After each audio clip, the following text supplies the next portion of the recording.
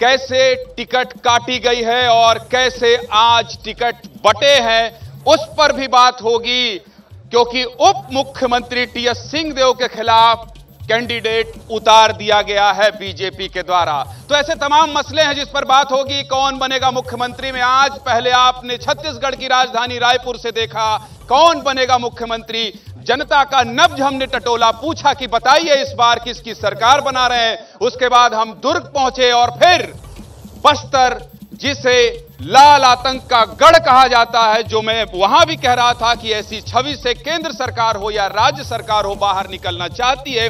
सभी के अपने अपने प्रयास हैं, लेकिन आज हम पहुँचे हैं बिलासपुर। तो बिलासपुर में टिकट बंटवारे के बाद, और जैसा कि मैं आपसे कह रहा हूँ कि करोड़ों रुपए कैश मिल रहे हैं शराब मिल रही है। और दिलीप कहाँ है? हमारे सहयोगी दिलीप शर्मा वो तो कह रहे थे कि साड़ी भी मिल रही है। और क्या क्या मिल रहा है दिलीप?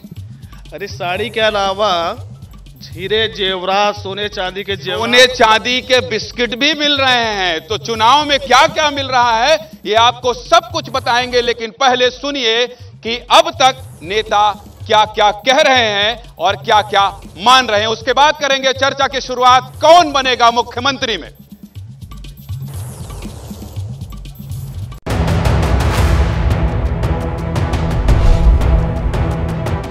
छत्तीसगढ़ में भारतीय जनता पार्टी ने चार और उम्मीदवारों की चौथी लिस्ट भी जारी कर दी। इस लिस्ट के साथ ही बीजेपी ने राज्य की सभी 90 सीटों पर प्रत्याशियों का ऐलान कर दिया।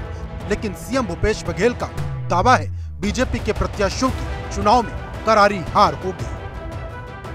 भाजपा तो डरी हुई है, क्योंकि एक तरफ़ छत्तीसगढ़ को बचाने वाले बचाने वाले लोग हैं, जो कांग्रेस पार्टी इसमें काम कर रही है, दूसरे तरफ़ भारतीय जनता पार्टी है। बीजेपी ने अंबिकापुर सीट से भी प्रत्याशी का ऐलान किया है। इस सीट पर कांग्रेस के नेता और deputy CM T S Singhdeo मैदान में हैं। अंबिकापुर से बीजेपी ने राजेश अग्रवाल को मौका दिया।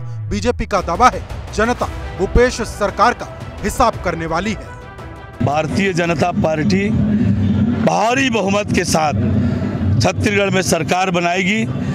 तीन दिसंबर को जब मतगणना होगी कमल खिलेगा भारतीय जनता पार्टी की सरकार बनेगी छत्तीसगढ़ खुशहाली और तरक्की की ओर आगे बढ़ेगा।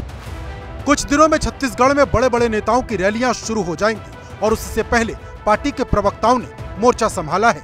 कांग्रेस की प्रवक्ता सुप्रिया श्रीनेत रायपुर पहुँची। कांग्रेस के वादे गिनाए और चुनाव में जीत का दावा ठोका। हमने पाँच साल में ऐसा काम किया कि 40 लाख लोगों को गरीबी की सीमा रेखा के बाहर निकाला। 44 लाख परिवारों को बिजली बिल हाफ़ होने का फ़ायदा पहुँचा।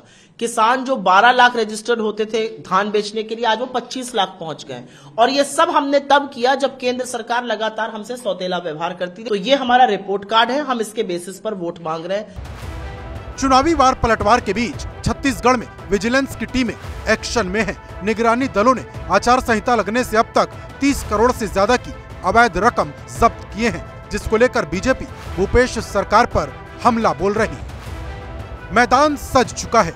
दोनों बड़े दलों के सारे प्रत्याशी मैदान में आ चुके हैं और 3 दिसंबर को ये बात भी साफ़ हो जाएगी कि कौन कितना पानी में है। जैसे ही घड़ी का काटा दोपहर ढाई पे आए, बबीता जी का दिल सास बहू साजिश के लिए मचल जाए। और ये है इनकी बहू। पूरे दिन ऑफ़िस की टेंशन हो जाए गॉन जब ये करें अपना फेवरेट शो फ्री टाइम पे ऑन इनकी तरह, आप भी देखें अपना फेवरेट शो अपने टाइम पर. और डाउनलोड कीजिए एबीपी लाइव ऐप अपने स्मार्ट टीवी पर.